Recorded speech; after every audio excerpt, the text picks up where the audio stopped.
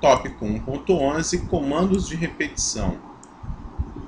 O Java fornece três instruções de repetição que permitem que programas executem instruções repetidamente, contando que uma condição uh, permaneça é, verdadeira. Né? As instruções de repetição são while, do while e for. Né? Os comandos de repetição de Java funcionam exatamente como os de C, então esse aprendizado aí se mantém. Né? A gente aqui fez um pequeno exemplo, ó, imprimindo números uh, de, umas, de, uma, de 0 a 10. Ó, né? Vou mostrar aqui no NetBeans ó, a execução e fazendo de 0 a 100.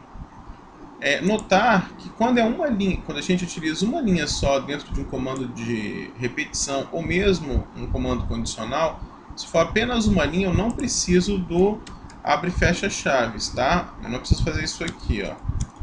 Apesar disso ser uma boa prática. Então, principalmente para quem está começando, colocar o abre e fecha chaves aqui é uma abordagem interessante.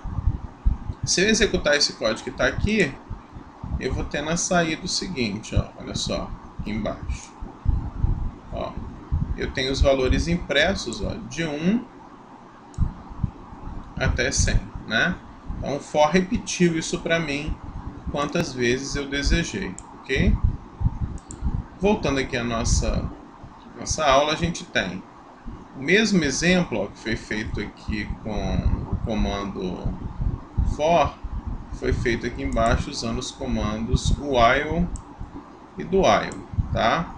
Recomendo colocar esse código aqui, testar esse programinha para vocês uh, visualizarem aqui a, a, impressão.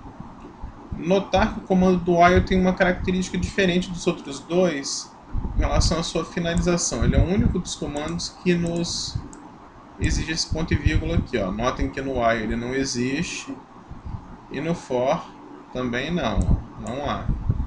Enquanto aqui a gente precisa colocar. Tá? Ah, deixa eu diminuir um pouquinho o zoom. Assim como nos comandos de repetição e decisão da linguagem C, o uso de chaves em Java só é obrigatório quando temos mais de uma linha dentro do bloco.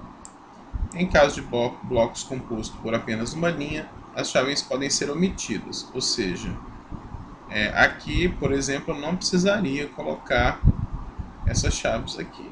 Tá?